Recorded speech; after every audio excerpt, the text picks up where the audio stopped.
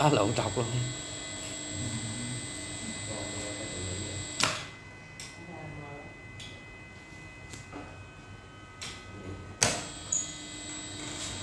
Ăn không? Quá rồi sát canh chút nữa.